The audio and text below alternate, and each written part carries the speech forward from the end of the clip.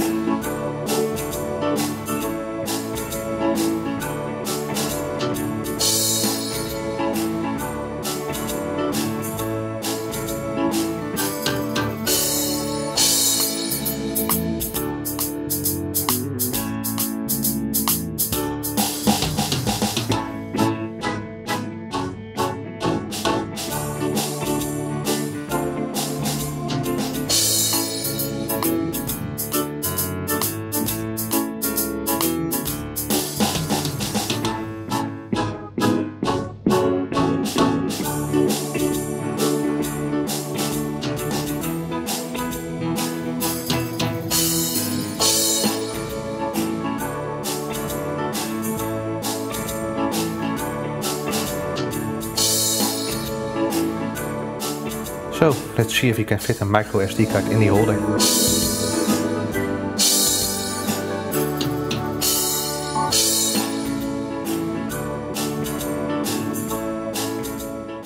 It fits perfectly. And now, let's try the cover.